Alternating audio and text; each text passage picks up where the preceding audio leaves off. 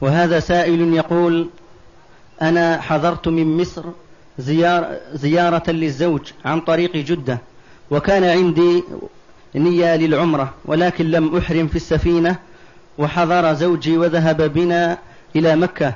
من أين أحرم؟ وهل يجوز أن أحرم من ميقات مكة؟ لا.